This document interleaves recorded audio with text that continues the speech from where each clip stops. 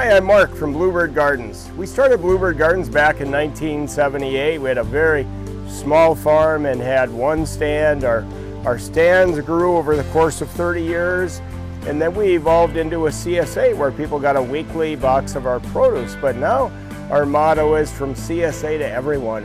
And so for many, many years, we raised our produce without greenhouses. But then we started realizing with the cold springs and everything, we'd have a big advantage if we start things in greenhouses like this. Um, well, here we sit in the middle of May in one of our 11 high tunnels. High tunnels are like a greenhouse, except that instead of things growing in pots, they actually grow right in the soil. And, and there's a reason we have 11 high tunnels. It's because we live in hmm, Minnesota, you know, so so even though it's May 13th, tonight it's going to be 28 degrees outside. And, and the biggest factor in growth is heat you know, and in Minnesota in the spring there often isn't any heat. And so these high tunnels are just beautiful to capture whatever sun there is and make that heat happen within the high tunnel. So everything you do in your life is a journey.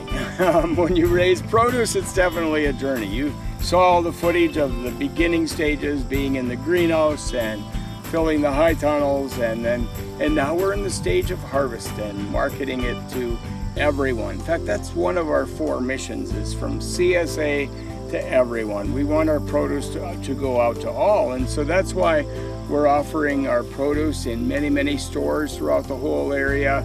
Service Food, Econo Foods, Hornbachers. Um, we're also off doing the small CSA, but we have so much produce um, that we are expanding to to build your own pail, uh, fill your own five gallon pail for $15 at, at all many truck locations in the whole area, of Fergus Falls.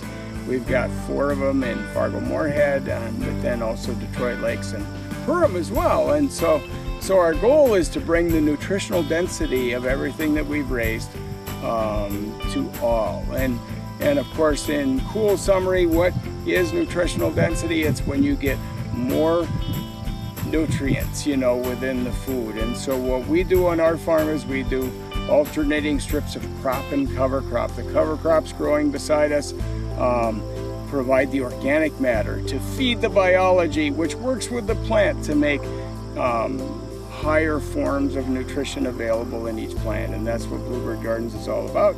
And coincidentally, when you have nutritional density, you also have flavor. That's why one of the biggest things we hear all summer is, oh, this is the best broccoli we've ever eaten. And so that's what Bluebird Gardens is all about in bringing our produce to everyone.